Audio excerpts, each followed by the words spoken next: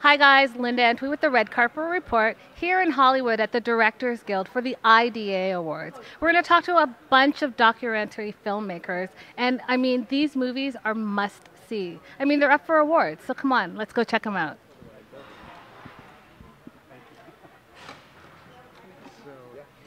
Hi. Hello. Linda Antwi, Red Carpet Report. Are you with this I camera am. here? Yes. I am.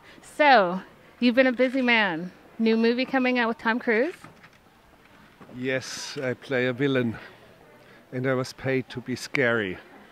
How did you like that? I liked the whole experience. It was just really wonderful, and uh, I think I'm worth my money because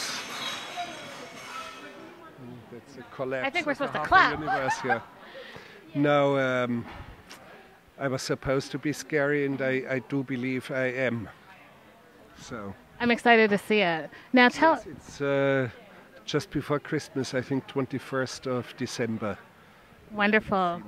Wonderful. Tell our viewers a little bit about your movie um, in this independent documentary. It's not one movie, it's actually a mini series of four films uh, on death row inmates uh, shot in Texas, which uh, has a very high number of death row inmates, and uh, one case in Florida.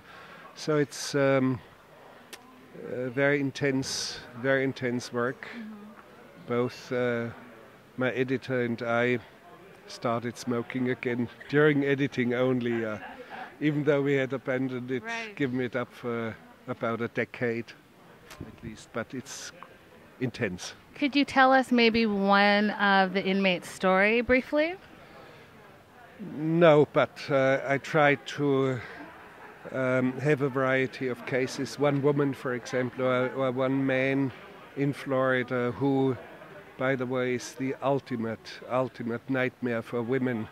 A man who would sneak into the apartment of a young woman, stark naked already, hide in her closet for hours, watch her doing uh, her household chores, washing dishes, watching a soap opera, and then come out, emerge, and murder her. So that's Terrible.